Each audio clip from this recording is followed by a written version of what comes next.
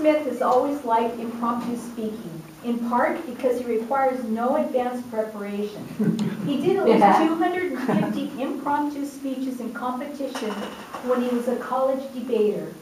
More recently, he did all 10 speeches for his fifth comp- com- Competent Communicator Award in 2015 impromptu, just to see if he, it could be done. Yes, it can. In Project One, impromptu speaking from the Advanced Communication Series manual, spe- specialty speeches, Lloyd will do an impromptu speech. His topic will be drawn at random by his evaluator from a group of five topics he provided. Lloyd Smith and impromptu speaking.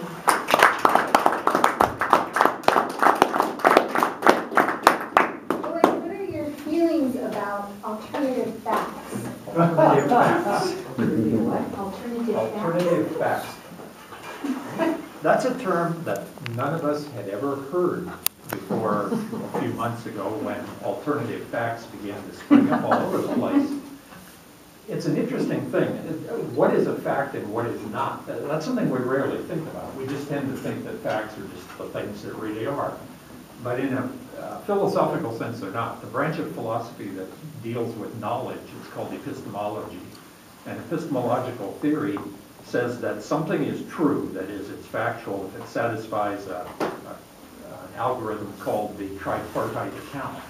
In other words, in order to be true, something has to actually be verifiably true. You have to believe it, and you have to have some reason for believing it. If all of those, all three of those things are true, then it's knowledge as far as you're concerned. Now, that raises some interesting issues. For example, most of us in here have probably heard people say, I know God exists. In reality, no, nobody knows God exists because there's no way to verify it empirically. In other words, there's no place, nothing you can look at or measure or touch or whatnot. What actually is going on is that you believe God exists.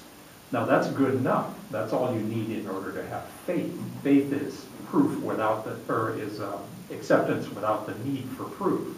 And that's plenty when you're talking about God. But you can't say that you know God exists because he may or may not. It's in terms of the philosophical nature of knowledge. Now, when you take an, a recent example, like the- the one that pops into my mind right now, is President Trump's assertion that he had the largest crowd at his inauguration of any president. Now, that seemed to run counter to the truth, the verifiable truth.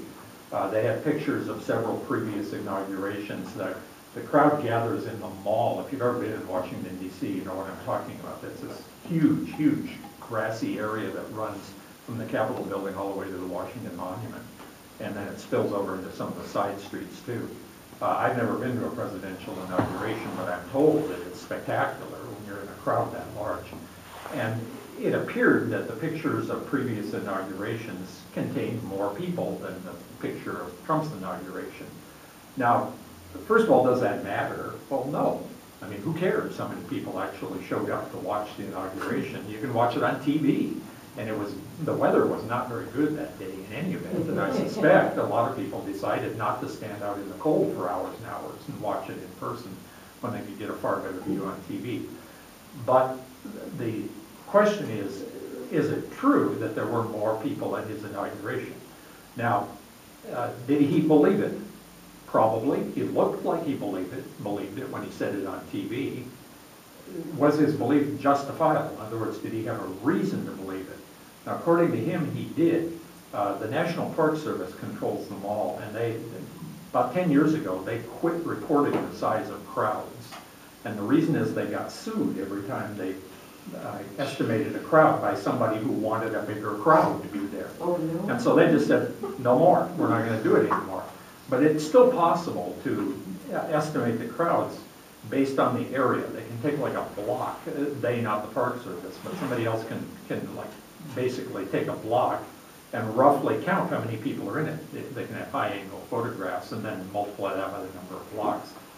And several different organizations reported to President Trump that he did have a large crowd, at least in certain areas. So was he justified in believing? Possibly so. have to give him the benefit of the doubt. But was it verifiably true? And almost certainly not. You could look at the pictures and see it. Now, it raises a question about alternative facts and several other things to do too. Why would anyone bother? I mean, you know, if I were the president, and somebody said, well, you didn't have a big crowd at your inauguration, I'd say, tough luck, I'm still the president. I mean, That doesn't bother me, you know, who cares if one person showed up, as long as he was the guy holding the book and giving the oath, you're okay.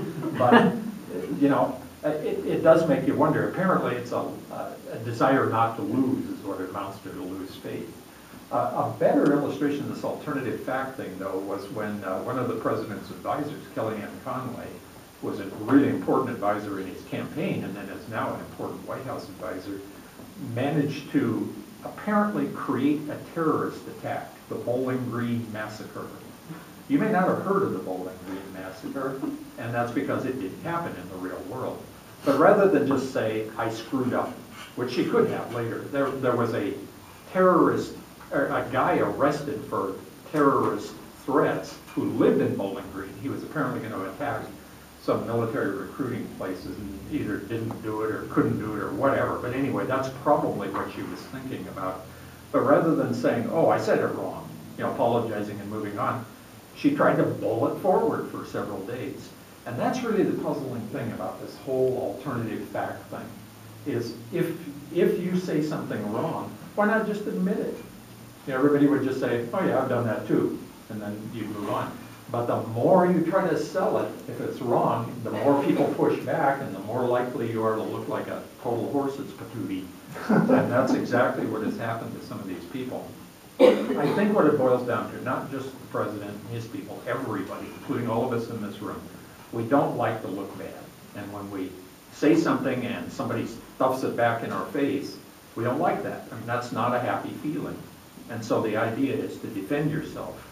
It's probably better just to admit a mistake and move on. Usually the attempt to mitigate it somehow, make it look better, make it look like somebody else's fault, makes you look worse and worse and worse. You know, what it boils down to is if you're in a hole, stop shoveling. and that's yeah. what some of these people don't get. Mr.